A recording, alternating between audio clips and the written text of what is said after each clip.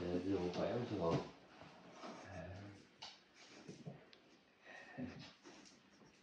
ngồi ở đây mình à, với 6 ngày. Ngày rồi đi. Giờ đó cũng khờ luôn à, trống rỗng Mình nói gì ta hôm nay à, à, trên cho à, thắt nó là 30 Tết không? Ra Tết mùng 1, mùng 2 xong cái là sáng mùng 3 vô đây lại rồi phải hết mùng 7 à, ở chỗ này à, chỗ này là khác hơn nhà theo nhà có chỉ có cha mẹ long dương là thường vô với mấy anh chị. Còn chỗ ngồi đây nhiều mấy vị số thân vị nào cũng tới. Tự nhiên có cha có mẹ có mấy anh chị luôn này long dương mấy ông thần nhất là tổ vào đề đạt ma nè với uh, hai sư phụ thượng tế công. Rồi có có bác tiên tới thăm nữa lâu lắm rồi nói gì này chưa tới. Với vị uh, lý trung bình nữa. Chung là cái gì về không? À, dạy bảo. Rồi cái uh, ta không nói gì. Rồi, uh, rồi khuyến khích. Rồi uh, mẹ như gì về thì coi đoạn sư phụ. Coi sư phụ làm gì? Mấy sư phụ này thì à, khi có tổ về. Sư phụ cho con kể chuyện cho mấy mấy đệ tử nghe. Thì tôi về tôi đứng đây. Cái à, nó nói à, nó nói sư phụ à con giống như ta xưa, là lúc đó tôi nói gì? Cũ niên diện bích. Mà sư phụ đâu có biết, kiểu cũ niên diện bích sau này tôi coi lại cái điện thoại thì à thì ra là là tổ nói là ngày xưa lúc mà tổ đi à, qua truyền đạo Phật qua cho bên Tàu á Huệ Khả đó, chưa đúng lúc á thì cũng phải à, cũng phải ngồi chờ thời đó thì cái tổ nói sư phụ hôm nay vô đây ngồi chờ thời cũng giống như tổ vậy đó. Tổ phải ngồi thiền 9 năm à, để mà chờ đúng ngày đúng giờ ngồi thiền vô mặt vô bức tường á. Cũ cũ niên diện bích diện là nhìn phải không? Nhìn vô bức tường. Cụ nói ta cũng giống như người vậy đó. À, cũng như con vậy đó. Cái à, cái sư phụ mới nói với tổ hồi mấy năm trước sư phụ à, tại sư phụ kêu là sư phụ. Sư phụ nói à, chữ khổ. Còn phổ biến chữ khổ cho mọi người à. Rồi giờ à, sư phụ có gì chỉ dạy cho họ nữa không?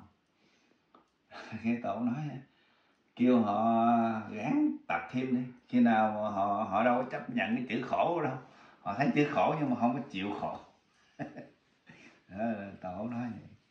Rồi tổ nói à, à, cũng ngài cũng thường trên đó cũng chạy tới chạy lui nhưng mà hộ đây thì mấy gì cái giờ đây chơi hoài à tạo kể nhiều chuyện đó cái ờ, hòa thượng tới cầm tới. Cái hòa thượng cũng ít nói hòa thượng không có nói, không có dạy nhiều. Hòa thượng chỉ dạy là cách ờ, giống như ờ, khi sư phụ sau này á, gặp nhiều chuyện rất là cực sốc á. Đừng có nói chuyện chỉ cười.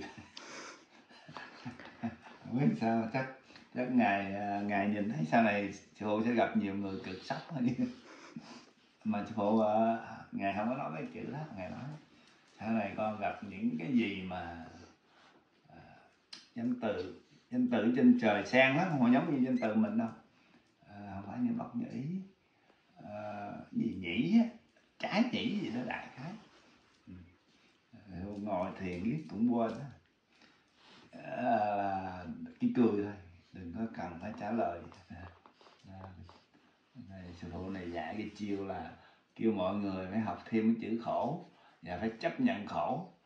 Chứ còn mà nhìn chữ khổ của sư phụ viết mà không có chịu chấp nhận khổ thì sẽ không bao giờ hết khổ. Kêu họ cứ học cái đó đi. Tổ tổ về tổ dạng vậy. À, cái à, mấy vị mắt tiên cũng về. Mấy gì? Dơ coi cái mấy vị mất tiên cái uh, ngày ngày mà có cái chân mạnh thiệt nhất là ngày đứng cuối cùng của chiếc tàu này. À, của chiếc thuyền đó, ở đó ngày đó là tên là lý trung quyền dạ. à, ngày về châu cũng kêu ngài bằng sư phụ tại hồi mười mấy năm trước ngài cũng nói chuyện sư phụ vậy sư phụ có thờ cái bằng chân ở ngoài núi mình á. Tại vì cái cái lõm mà đạp xuống mà chỗ hộ mà thiện cho nó là cái bàn chân của ngài đạt đó cái ngày mới kể sư phụ à, trời núi bây giờ con làm đẹp quá. Chắc thấy nó làm cỏ với nó làm nó hàng cây á. Một cái uh, sư phụ cái này tất cả mấy gì này là sư phụ với sư phụ hết. À, ai dạy sư phụ một chữ là sư phụ cũng gọi là sư phụ cái sư phụ lý trung quỳ mới mới mới khen cái núi mình giờ rất là đẹp thế này nọ. Cái sư phụ mới nói chứ à, à sư phụ à, để lại nhiều phim nhiều truyền thuyết nhiều câu chuyện nhiều truyền kỳ lợi quá cho thế gian. Đó là sư phụ nói chuyện lại vậy. Cái à, cái sư, sư phụ lý trung quỳ mới nói ô ta chỉ là một phần thôi sau này con kìa là nhiều hơn, nhiều truyền kỳ nhiều hơn nhiều nữa. Ngài nói vậy đó. Tức là sau này nhiều sách vở sẽ ghi là hết? Như hộ là cuốn kinh sống. Còn mấy con là cuốn tiểu thuyết ở trong thư viện vậy đó. Tại mỗi đứa sau này thì mấy vị về kể. Ngồi ở đây nhiều vị về thăm ở ngoài đó đông trong ờ, uh, 6 ngày nay là họ uh, ờ, lại sám hối rồi uh, ngồi thiền ngồi uh, liên tục mà nghĩ không muốn ra luôn. Sau này có cái chỗ nào sang trọng mà lót vàng uh, là cái gì cũng không bằng chỗ này. Chỗ này nó yên tĩnh dễ sợ luôn sư phụ mấy ngày là sư phụ nhập thất kìa con nhìn thấy sư phụ thấy thần sắc sư phụ nó khác nhiều lắm luôn khác. Gì vừa vui vẻ hơn. Phải tại giờ quên không biết nói gì. Tại bữa nay ở trên cho đi ra tắt cũng mừng. Rồi, uh, mấy anh chị là cũng ghé thăm mẹ những mẫu. Hồ có hai mẹ nha.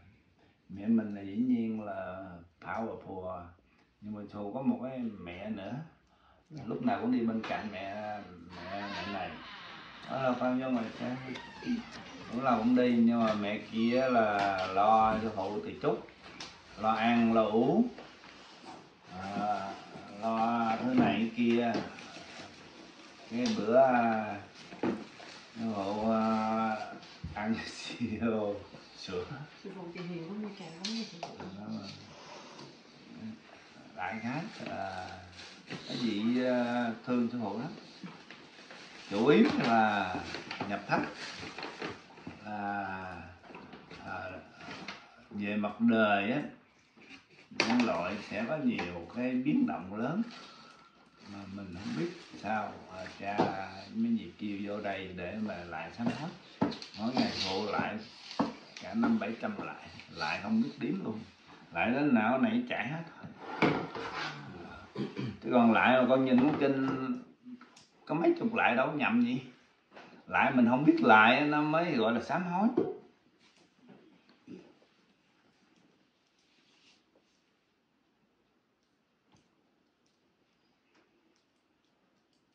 Thì à, nên phòng này hiện giờ điển thanh rất là nhiều nãy trước khi mấy con vừa lúc à, đó, mẹ có tới thì là sư phụ có nói uh, là có sư phụ xuất gì ra thấp rồi. Mấy con ok tới.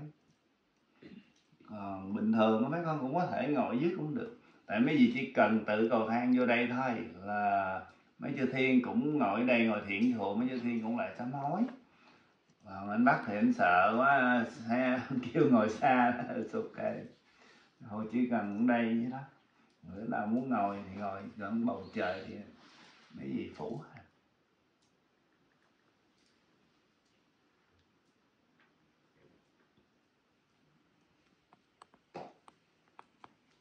bộ đồ là mặc sáu ngày.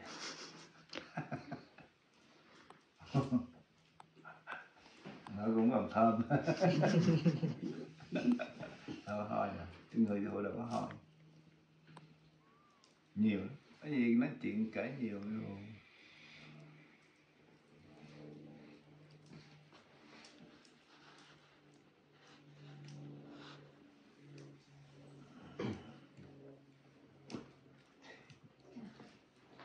nào quá không gặp. Cái đệ tử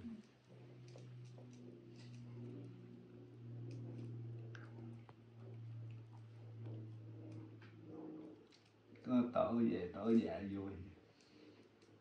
Nó giống như ờ, mình có nóng nảy hay mình có mong cầu gì cũng không được. À, phải cơ trời nó phải nó giống như cái ờ, cái gì vậy cái răng trong cái đồng hồ vậy ha, đúng giờ đúng khớp nó quay quay thôi. À, còn bây giờ giống như ta hồi xưa à, cũ niên diễn bích tức là à, lúc mà lúc mà tổ tổ đi từ ấn độ, rồi đi qua việt nam, rồi truyền cái đạo phật qua tàu. Hôm nay nước việt có đạo phật ở nhờ tổ. Cái, tổ đến chùa thiếu lâm cái bị huệ khả là là nhị tổ, là đệ tử. Nhưng mà lúc đầu á thì khinh thường tổ lắm. Tại người tàu họ kỳ thị, họ thấy tổ da đen ấn độ rồi cái hình như quýnh tổ gãy cái răng nữa đó cái à, tổ biết duyên chưa tới cho nên tổ mới vô à, trong cái vách đá. Tổ mới thì chín năm. Cái lúc đó về khả ăn năn đó là nhị tổ. Ở đây là tổ sư của thiền tâm của chùa thiếu lâm. Thiếu lâm là tổ là người founder. Hiện giờ thiếu lâm vẫn còn bên nào cái à, huệ khả mới mới quỳ. Quỳ sau lưng tổ. À, lúc đó ngay cái mùa tiếp à, bắt đầu xin làm đệ tử lúc đầu thì quýnh quýnh thầy phải không? Mà quýnh phật chảy máu. Sao rồi lại xin xin thì lúc đó tổ mới nói khi nào cái gì ta cái câu thơ gì đó. khi nào tiếc màu hồng á thì ta hãy nhận nhà ngươi làm đệ tử. Cái ờ, huệ khả mới lấy cái kiếm chặt đứt cái tài cái máu đổ xuống tiếng thì từ đó tổ mới truyền hết cái ờ, kinh điển với, với ờ, công phu á cho huệ khả thì rồi truyền xong mà đạo Phật qua Ấn Độ qua từ Ấn Độ qua qua Tàu thì qua Việt Nam vậy đó. Từ đó tổ mới đi về. Tổ mới về thì à, thì đâu phải em muốn đi đi về về phải chết không? Chết thì cái mấy ông uh, vua với vua quan quân rồi đó mới chôn tổ. Chôn xong cái uh, có một ông đi khám sứ đại thần uh, đi ngược đường về Ấn Độ mới thấy thấy tổ mới hỏi uh, sau ngày đi. À, cái tổ mới kêu về coi uh, coi chuốt của nhà ngươi sắp chết. À, tổ quay chiếc giày giống vậy đó. Cái khi đi về thì uh, ông đó ông kể lại thì người ta không có tin là tổ chết. À, tổ đã chết rồi không có tin là tổ sống. Ông đào mộ lên thì con còn con chiếc giày. Cái này thì kể nhiều nhưng mà tự làm phim nó kể lại. À, thì nó có chiếc giày là vậy. Tức là phật muốn chết chết muốn sống muốn sống. Muốn đi đi muốn đứng đứng muốn nằm nằm. Chỉ có một cái là à, phật khác hơn người thường. Tức là làm những cái chuyện người thường không có làm được. Con tưởng tượng thử á, những nhà lãnh đạo Việt Nam mà vô đây ngồi một ngày một đêm thôi. Đừng chi ngồi thiền liên tục mười mấy tiếng bảo đảm mấy ông sẽ không bao giờ dám ăn hối lộ luôn á. Mình sẽ nhìn rõ được cái um, cái uh, cuộc đời nó rõ từ nét từ nét vậy không có gì quan trọng hết. Chỉ có uh, về trời mới là quan trọng thôi. Chứ còn cái sắc phạm nó không có gì quan trọng khi vô đây con nội